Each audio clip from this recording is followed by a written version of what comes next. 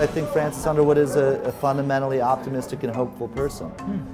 Yeah, you have From to a be. dark place. You have to be. Uh, I don't. Th- he doesn't see himself as evil. Uh, he sees himself uh, in a in a world in which it's highly competitive, that's cutthroat, where it's hunter be hunted, and he feels he's got the best version of leadership to offer. Uh, he wants that power, and he thinks the world will benefit from it.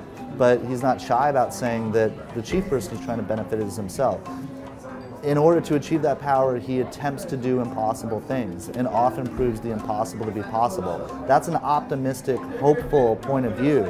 Uh, its motivations might not be um, pure, uh, but I think if we're really honest with ourselves, most of us don't have motivations that are 100% pure. All right. That's a, probably a fair point. Um, Well, no, I mean, for instance, I mean, you know, as a journalist, right? Journalists, uh, in the purest sense, are truth seekers.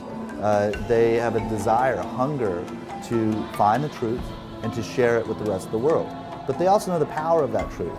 They know that it could lead to a Pulitzer. They know it could lead to a front page byline. They know that the more notoriety they have, the more influence and access that they have. Those things go hand in hand. And to be a great journalist, oftentimes you need great ambition. And ambition isn't necessarily a pure thing. I mean, there is ego involved. There is a desire to conquer.